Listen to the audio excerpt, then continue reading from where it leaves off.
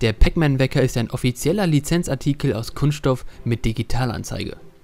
Für alle, die das Arcade-Videospiel-Zeitalter noch erlebt haben, gibt es den genialen Wecker im Design der Kultfigur Pac-Man. Wenn dieser Wecker Alarm macht, hört es sich ungefähr so an.